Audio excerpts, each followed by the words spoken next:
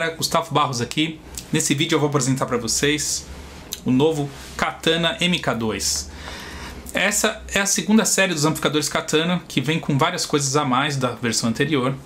E eu vou falar para vocês por que, que é a melhor opção para você que está precisando do amplificador compacto, né, que você possa tocar desde um volume alto até um volume baixo sem incomodar os seus vizinhos.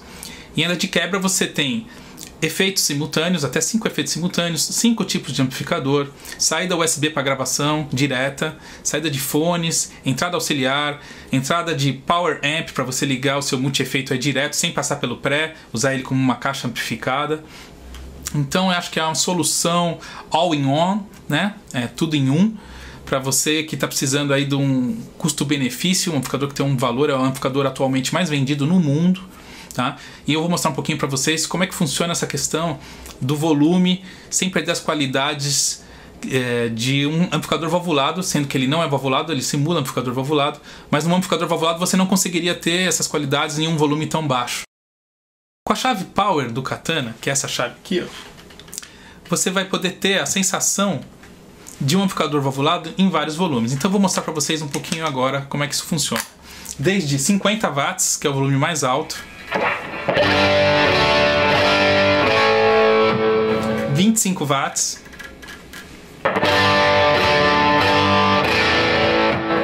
Meio watt. Vocês podem ver que está praticamente no, na altura do volume da minha voz que eu estou falando, né? Eu estou captando o som ambiente. Vai ter até um vazamento de rua aí, de repente, né? Então, é, isso é uma coisa que um amplificador valvulado não vai conseguir entregar para vocês. Tocar num volume super baixo, mantendo as qualidades harmônicas, né, a sensação feeling, dinâmica que um amplificador desse proporciona. E você vai conseguir isso no Katana MK2 e toda a série Katana, mas nesse amplificador aqui, que é o de 50 watts, você vai ter a maior portabilidade dentro da série, né? Você ainda conta com recursos integrados, como cinco tipos de amplificador, desde o modo Acoustic, que é apropriado para você plugar um violão, até o modo Clean, Crunch, Lead e Brown, que é um modo High Gain, Ultra High Gain. Né? Você tem cinco efeitos simultâneos, que você pode controlar eles on-board também, através de botões concêntricos, né?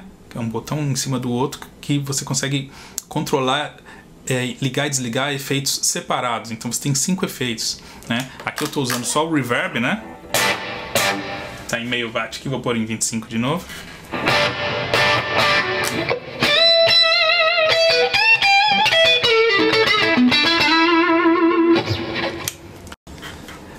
Eu adoro, né? Eu não consigo tocar com som seco. Os reverbs são maravilhosos. Você alterna aqui entre três tipos. E se você quiser ter uma edição mais profunda, você consegue baixar o software, né, através do site da Boss, e você vai poder mexer em todos os parâmetros, é, em todos os efeitos, nos mínimos detalhes e ainda em alguns parâmetros que você não tem on board, como tipo de é, caixa, microfone, é, ordem dos efeitos, né?